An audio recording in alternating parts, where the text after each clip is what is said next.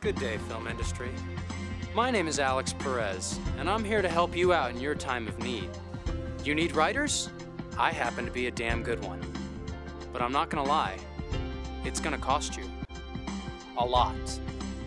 But you can't put a price on your audience's happiness. Fortunately, I can.